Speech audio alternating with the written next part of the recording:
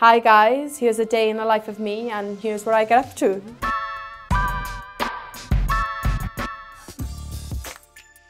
I get up between 7.30 and 9 And the first thing I do in the morning is take Winter into the living room, make her breakfast, sit in her in a high chair, she has her food, she watches a bit of TV, and yeah, just chill on the sofa. So once we've chilled in the morning, um, I then go and get ready and I do my hair makeup, and Winter tends to sit in the bed and watch me, um, or she just plays in her, in her bedroom with her toys.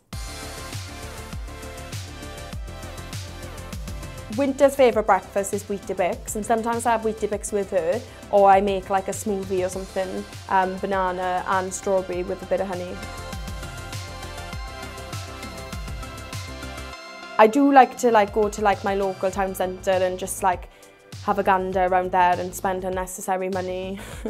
um, but I also like to go to my friend Erin's if, I, if, she's, if she's free and we go over there or I take Winters to the park with a friend. Um, yeah, I don't really have a routine, it's just whatever's going on in that day, really. Winter has pasta because she's obsessed with it. I make her um, like tomato-based pasta with cheese. And um, I'm on a diet right now, so I just have like a chicken salad or something. Me and Winter love a nap throughout the day. We go to sleep around three o'clock and she goes to sleep for two hours and I just try and like get a cheeky two, two hours in with her. Um, so yeah, I take advantage of her naps because I just sleep with her. God, before I'd have a kebab, but I'm trying to cut down, cut down on them. So I probably have something healthy, like it's always just like chicken salad or chicken with rice, something like that. And um, Winter loves spaghetti bolognese, so I make spaghetti bolognese a lot for her. And she loves to finish it off with a yoghurt. My go-to drink on a night out is probably vodka and cranberry. I actually really love vodka. Um, I don't really like any other drink and, and I love a cocktail as well, like um, strawberry daiquiri is lush.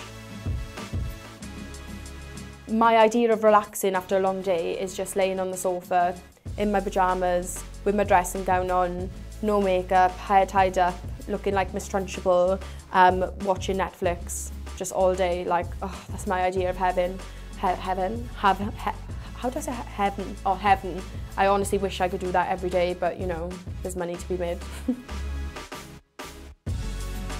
Sometimes I'll go out for like dinner um, at one of my friends' restaurants. They've got like really fancy restaurants and I get the food, food for free, so you know, I just love that. Or the cinema sometimes. I don't really go out clubbing much anymore. I think it's because like, you know, I'm getting old now and I'm just kind of over it. I'd much rather go out for dinner than go to the club.